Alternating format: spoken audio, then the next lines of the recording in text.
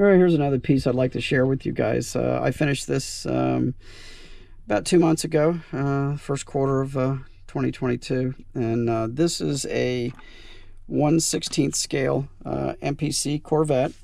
Um, I started out with the stock version of this kit. This kit was reissued many, many times over the years in several different forms, including the Rod Shop version, which was a drag racing version modeled after a real car.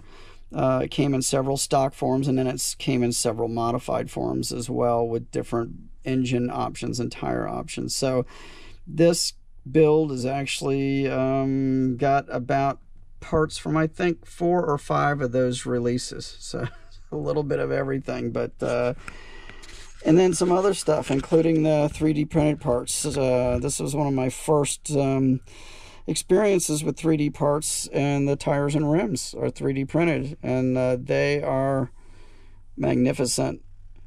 And uh, I got hooked up with 3D Scale Parts uh, is the company. Uh, I got hooked up with them off of Instagram, and uh, I've bought a couple sets of tires from them so far and some other parts. Um, let me see if I can grab the hood off of here. The, um, the intake and the injector scoops on here, or injector, uh, hang on two seconds. This is a two-handed job here. I'm totally klutzing out on. There we go. Okay. Um, yeah, the manifold and the intake stacks. Those are also 3D printed from the same company. Um, I'm not a super detailer. I'm old school. So I kind of keep it to the a bare minimum, you know, usually radiator hoses and plug lines and stuff like that.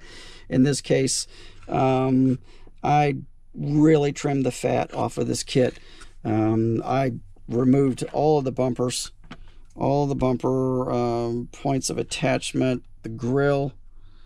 Um, there, since it's a drag car, there is no radiator.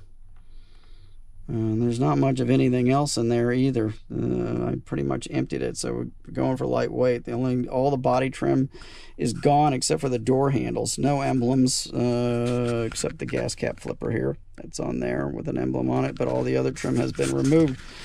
So it was all rough. It was all in in really really rough condition, and um, uh, I did a lot of hacking and a lot of changes. So anyway, here wow. One of my front tires came off. That's was not expected.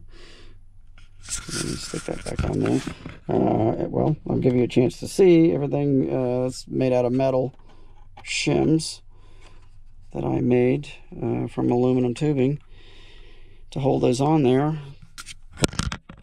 But apparently did not add enough glue on that one side, so I apologize for that. Anyway, um, I did a lot of interior detail. I don't know how well it's going to show up on here, but it's got all photo reduced gauges. Uh, there's a shift knob in there that's really probably not that visible. That is resin cast. It's a skull with a racing helmet on. Try to get in there if I can. Let me see if I can direct a little more light that way. But uh, all of the interior components, what's not silver, is all highlighted in candy blue and candy apple red. Um, the windows were made from blue acetate. Uh, those are not from the kit. Uh, the decals, uh, a good friend of mine, Chuck Darnell, had uh, these made for both my build and his.